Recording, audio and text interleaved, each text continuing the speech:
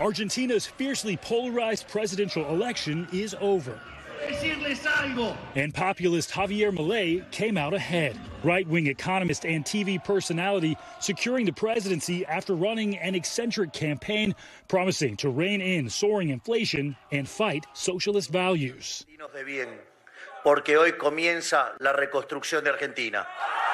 Supporters flooding the streets of Buenos Aires hopeful for change at a time when the poverty rate has reached 40% in the country with the third largest economy in Latin America.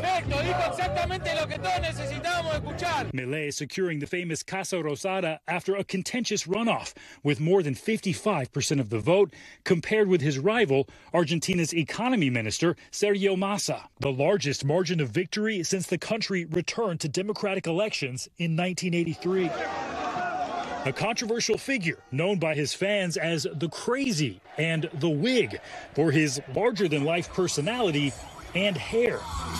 At times compared to Brazil's president Jair Bolsonaro and former U.S. President Donald Trump, who congratulated Milei on his victory writing, quote, Make Argentina Great Again on his Truth Social platform.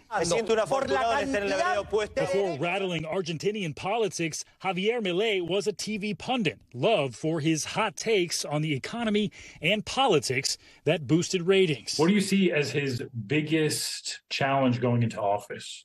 The, getting forward some of his critical proposals through the Argentine Congress is going to be a challenge, as well as the financial situation overall. The Argentine peso is viewed by many as, you know, as essentially being uh, worthless. He's a self-declared anarcho-capitalist, a libertarian and staunch supporter of the free market. His fight against inflation, which has topped 140%, is centered around closing the nation's central bank. Dollarizing the economy is obviously incredibly problematic and um, insofar as how to actually do it and also a country of the size of argentina is, is challenging as well Argentina's recent legalization of abortion is also in Milei's crosshairs. Milei has proposed a plan to repeal the law while juggling the notion that climate change is not a human made issue. The sizable victory of Javier Milei shows the discontent of the Argentine people with their current status.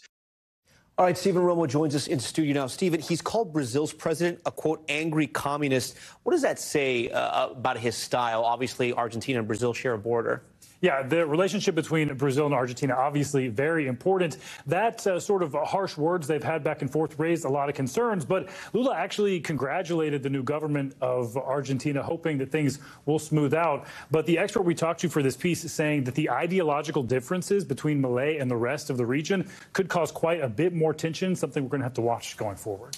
Thanks for watching. Stay updated about breaking news and top stories on the NBC News app or follow us on social media.